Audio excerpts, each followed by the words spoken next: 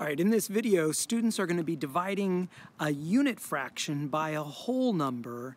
And really, rather than just learning the rule, uh, we're going to represent it using a visual representation, a tape diagram.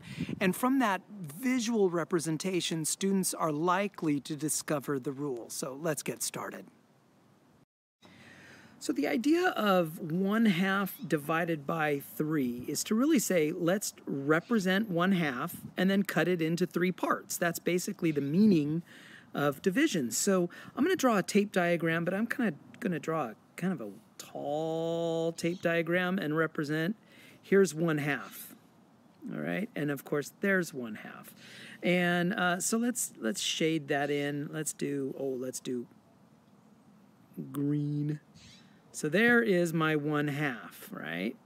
And then it says this one half divided by three means I need to take this half and cut it up into three parts.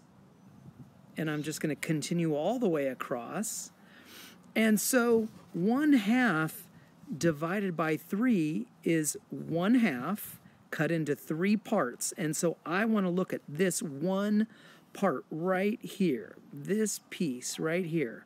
So that's 1 half divided by 3. And I can see that that one little piece is 1 sixth of the whole thing. Remember, this is one whole thing. This is 1 half cut into three parts.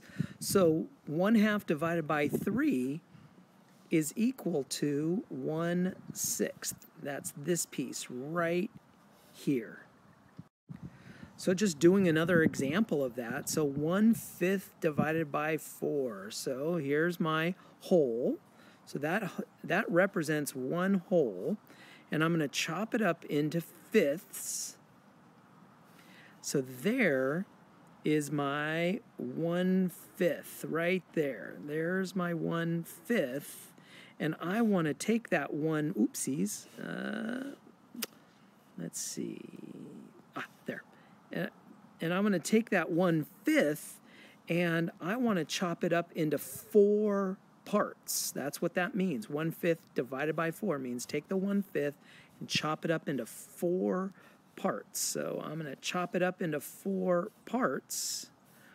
So right here is my one fifth that has been chopped up into four parts, and I want to know the size of one part. Well, that's one little piece out of a total of 20. So that is now officially 1 20th. So 1 fifth cut into four parts gives me 1 20th right there. And our last example, 1 third divided by 6. I'm going to kind of make this a little bit taller this time. 1 third so there is my one third. And I need to, I'll shade it in just to help us remember that that is our one third. And it says we're supposed to cut it into six equal parts. So one third cut into six equal parts. So there we go. That's not exactly equal, but close enough and there's my one third cut into six equal parts, and I want to know the size of one of those little parts right there. And what is that one little piece right there? Well, it's 6 times 3 is 18, so there's 18 pieces. So one third divided by 6 is 1 18th. So that wraps up this lesson where students discover the rule that uh, to figure out what does one fourth divided by three look like, it's going to be take that one fourth, you're going to chop it up into three pieces, which turns them into twelfths. So we've got that multiplying by the reciprocal kind of thing going on there. So uh, happy dividing.